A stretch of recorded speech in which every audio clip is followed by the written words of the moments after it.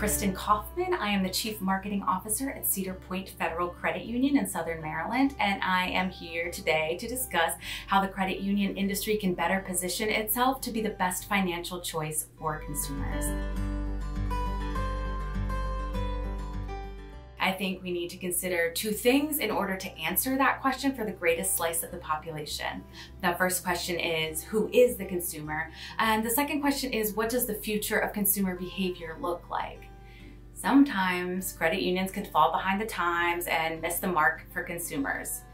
Yes, we have to consider all consumers in all demographic categories. However, we have to be future focused if we want to be ready to deploy the right tactics when the time comes in my view, the industry needs to focus on targeting digital natives in an effort to cultivate the next generation of consumers. And to do that, we have to innovate and iterate. We can't just get stuck on doing things the way we've always done it. We always hear that, right?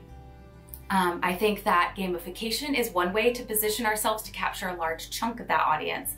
Whether gamification happens within our digital banking platforms or using a financial education tool, it helps both the user and the credit union to grow. The credit union can have access to valuable data that these apps can provide on those users, and this can help our industry to predict the behaviors of these consumers as individuals and also as larger demographics. Data is going to help us fine tune our products as we continue to innovate and iterate. Understanding consumer behavior is the key to being able to serve the most relevant product to the right person at the most optimal time.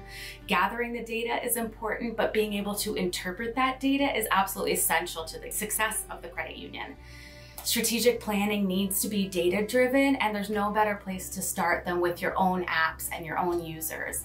Now, I believe that the credit union industry has a place in the future of banking, but whether we fly or fall relies on our ability to adapt.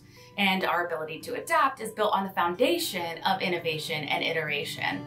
Our ability to survive, that's up to us.